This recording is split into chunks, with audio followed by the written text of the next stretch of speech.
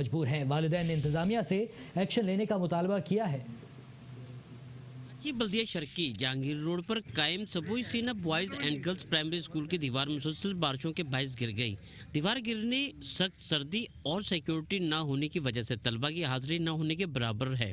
इसी हवाले से इलाका मकीनों और ने मेट्रो वन न्यूज़ से गुफ्तु करते हुए बताया। जी सुबह में जो वालदेन प्राइमरी स्कूल है दायर छोटे बच्चों को वालदेन छोड़ने आते हैं वो अपने बच्चों को वापस ले गए दीवार की हालत देखकर। और दूसरी बात हमने रिपोर्ट बनाकर अपने डिप्टी डायरेक्टर को बाकायदा तस्वीरों के साथ हमने उनको जमा करा दिए हमने पहले कंप्लेन की है कि दीवार पहले झुकी हुई थी जहाँ इस रुख पे।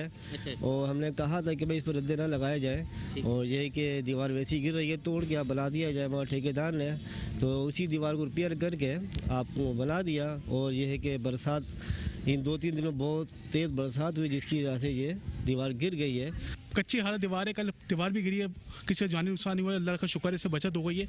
लेकिन सर जितना जल्दी हो सकता है काम हो जाता है बहुत ज़्यादा अच्छा है। हमने बहुत ज़्यादा बोला है इस पर पे। और इन्होंने जब बजट पास किया तो वो गंदी दीवार जो टेढ़ी हुई थी ना 90 एंगल पर उसी के ऊपर बना दिया। मैंने ठेकेदार को बोला भी मैं भी इसी स्कूल से पढ़ा हूँ। तकरीबन 18 साल हो गए और ये वैसा का वैसा ही है।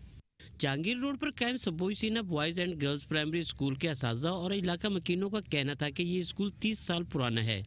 खस्ता हाली के बायस स्कूल की नई तामीर की जाए। टेढ़ी दीवार पर मजीद दीवार बनाने की वजह से दीवार गिरी। कैमरा मैन अमर जमील के हमरा इतनी सारा मेट्रो वन